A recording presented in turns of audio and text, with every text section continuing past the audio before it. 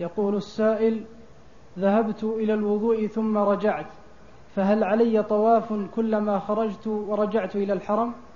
لا اللي يخرج بنية الرجوع ما عليه تحية مسجد ولا عليه طواف بل يتوضأ ويجي يجلس وإن شاء أنه يصلي ويتنفل ما في مانع لكن أنه يقال كل ما طلعت تصلي تحية المسجد إذا دخلت لا.